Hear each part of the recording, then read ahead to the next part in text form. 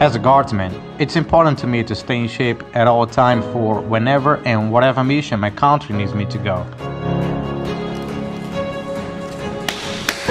My friends call me Monty. Being physically fit has always been part of my life. We should all have a passion for something, and CrossFit is one of mine. The CrossFit community is a fantastic one to be part of.